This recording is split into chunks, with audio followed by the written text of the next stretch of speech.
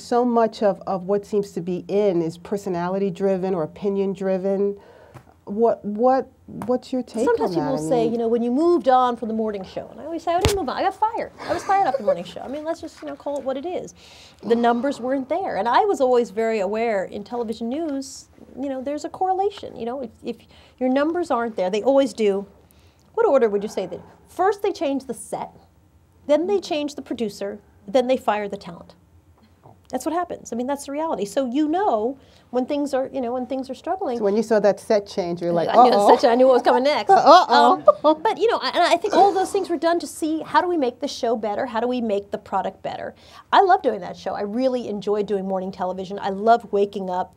I'm a morning person, and I love waking up with an agenda for, you know, good morning. You've all been sleeping. Here's what's happened. I felt that that was very clear in my head how to do that well but I also understood. I mean, it was what was hard for me was I felt very adrift in you know what I should do because there was I was I was promoted actually to do documentaries, but there was no documentaries being done. So you know it was one of those. I, I literally would go to the gym all day and you do yoga, and I, I had nothing to do. And it was that was very very hard. I mean, it certainly wasn't wasn't easy, but I wasn't surprised. I mean, I think that's kind of the nature of the beast in our business.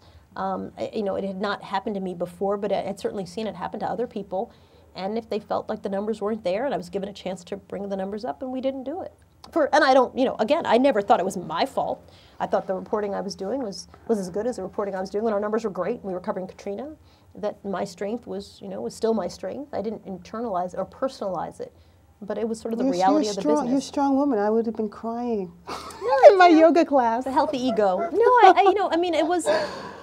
What was hard was being adrift from having something to do. You know, that I find hard. That's hard to not. When when we, I had a show that we were doing um, that was focused on technology called The Site that aired on MSNBC when the channel first launched, and when they canceled that show, which was a show that actually was was doing pretty well and was a good show. It was all about technology. I mean, the channel was brand new.